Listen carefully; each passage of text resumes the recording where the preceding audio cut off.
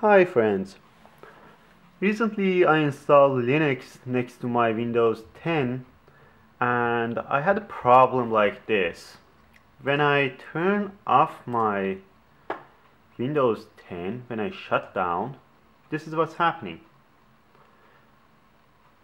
It is going to turn off but it turns back on. Basically it is restarting instead of shutting down the laptop.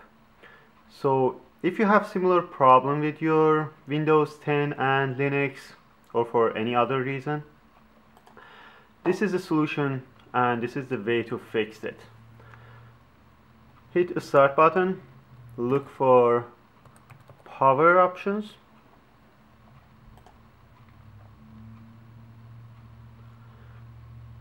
choose what closing the lid does right over here. Click on it.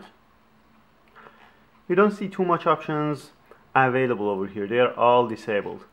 To enable them click over here change settings that are currently unavailable.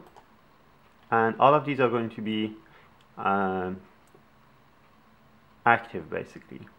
And just uncheck the option saying over here turn on faster startup recommended I don't like to be faster startup it's not going to change anything in the speed. I didn't see too much change basically no change.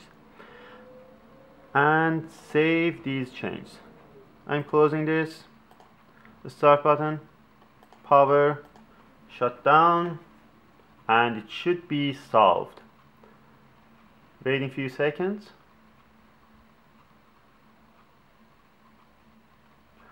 the problem is solved. Thanks for watching. Don't forget to subscribe, like, or maybe dislike. You guys have a great time.